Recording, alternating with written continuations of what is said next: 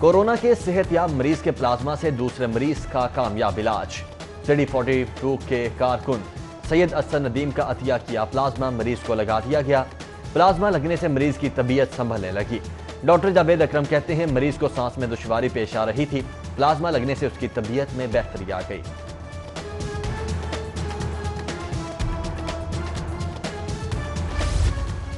पंजाब में कोरोना के 438 नए केसेस, तादाद दस हज़ार हो गई। लाहौर में 228 मजीद केसेस रिपोर्ट होने के बाद तादाद चार हज़ार चौरासी हो गई है। अब तक सुबह भर में एक सौ इक्यानवे अफराद वायरस की जद में आकर जाँ बहक हो चुके हैं। लाहौर में वायरस से जान की बासी हारने वालों की तादाद छिहत्तर हो चुकी है। इक्यालीस अफराद की हालत तशवीशनाक है, चार हज़ार एक सौ इकतीस अफराद सेहतियाब हो चुके हैं। कोरोना वायरस पंजाब असम्बली भी पहुँच गया। डीएसपी समेत असम्बली सेक्रेटेरिएट के तीन मुलाजमीन में कोरोना की तशखीस। डेप्यूटी स्पीकर सरदार दोस्त मोहम्मद मजारी कोरोना टेस्ट करवा कर कशमकश का शिकार। सरकारी रिपोर्ट मुस्बत, जबकि प्राइवेट लेबॉर्टरी का टेस्ट मनफी आ गया। दोस्त मजारी चंद रोज कबल दुबई से आए थे। डेप्टी स्पीकर ने एक बार फिर खुद को सेल्फ आइसोलेट कर लिया।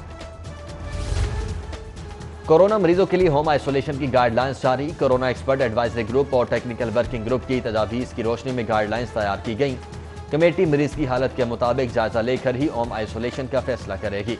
कोरोना मरीज़ की होम आइसोलेशन के लिए घर में अलग कमरा, वॉशरूम होना लाजिम करार। फयाजुल हसन चौहान कहते हैं मुतल ज़िले का deputy commissioner home isolation committee के अरकान को नामजद करेगा। कमेटी में महकमा सेहत और दीगर मुतल महकमों के अहलकार शामिल होंगे।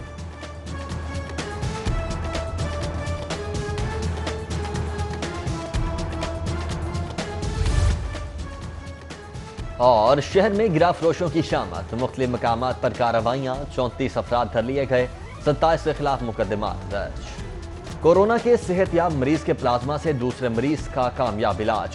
सिटी फोर्टी टू के कारकुन, सैयद असर नदीम का अतिया किया प्लाज्मा, मरीज़ को लगा दिया गया।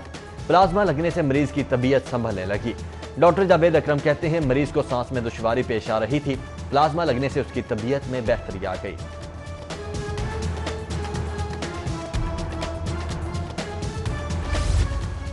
पंजाब में कोरोना के 438 नए केसेस, तादाद दस हो गई। लाहौर में 228 मजीद केसेस रिपोर्ट होने के बाद तादाद चार हज़ार चौरासी हो गई है।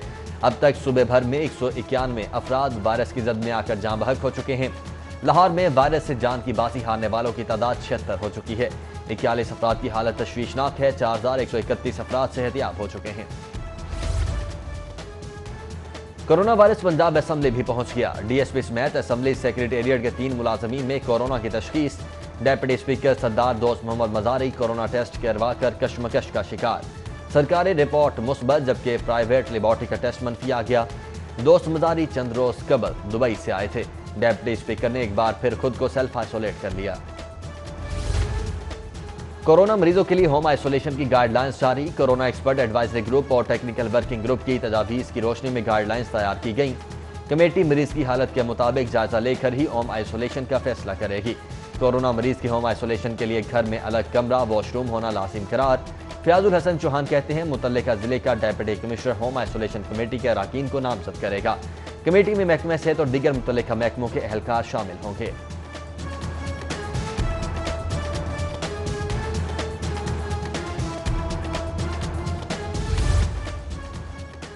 और शहर में गिरा फरोशों की शामत। मुख्तलि मकाम पर कार्रवाइयाँ, चौंतीस अफराद धर लिए गए, सत्ताईस के खिलाफ मुकदमा दर्ज।